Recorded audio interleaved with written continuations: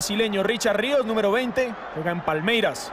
Le da paso Mateus Uribe, el número 15. Necesitaba las dos cosas, el refresco en el centro del campo y un hombre fresco arriba para tratar de correr esas pelotas largas que, que pueden llegar. Ahora hay que entrar muy conectados, no hay tiempo para adaptarse en el partido.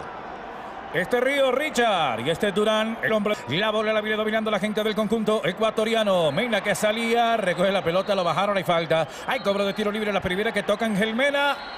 La primera que lo bajaron allí en la salida sobre la mitad. Están esperando con Castaño. Ahora Richard Ríos, Ríos, Ríos, Ríos. La marca bien Ríos. Se da la vuelta. Avanza Ríos. Vamos Ríos. El balón por la izquierda. La bola Vincent Sánchez a zona de compromiso. No alcanzó Durán. Tampoco Ríos. Se le pierde la pelota. Richard lo va persiguiendo Richard Ríos. Le va metiendo con toda Julio. Sale delante el número 9. Controla sin embargo por allí Machado. El árbitro dice que la falta venía de más hasta Julio. Esperaba Caicedo.